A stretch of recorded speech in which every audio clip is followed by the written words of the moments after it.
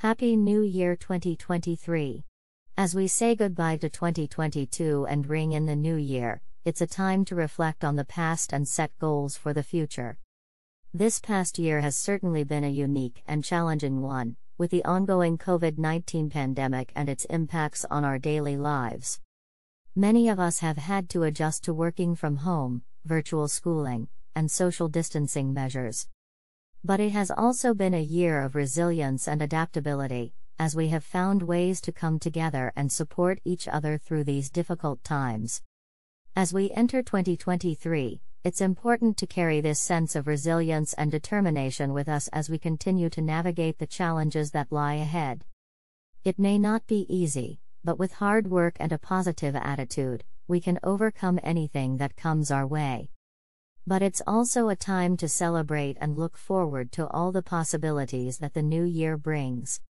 This is a chance for a fresh start, to set new goals and make positive changes in our lives.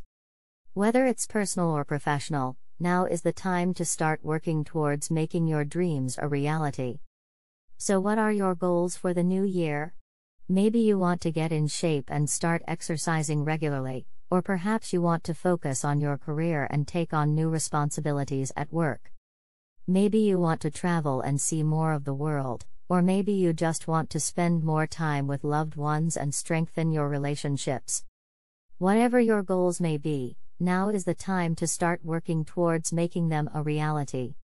One important aspect of setting and achieving goals is to be specific and have a plan in place. Instead of saying you want to exercise more, set a specific goal of going to the gym three times a week. Instead of saying you want to spend more time with loved ones, make a plan to have a weekly dinner with your family or schedule regular video calls with friends. By being specific and having a plan in place, you are more likely to stay on track and achieve your goals. Another important aspect of setting goals is to be realistic. It's great to have big, ambitious goals, but it's important to make sure they are achievable. If you set goals that are too difficult to achieve, you may become discouraged and lose motivation. On the other hand, if you set goals that are too easy, you may not feel challenged and may not see the progress you desire. Finding a balance between ambition and realism is key. In addition to setting personal goals, it's also important to think about the larger goals we have as a society. The new year is a time to come together and work towards making the world a better place for all. This may involve supporting causes that are important to you, such as climate change, social justice, or animal welfare.